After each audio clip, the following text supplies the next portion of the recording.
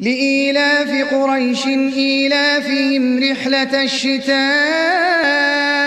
والصيف.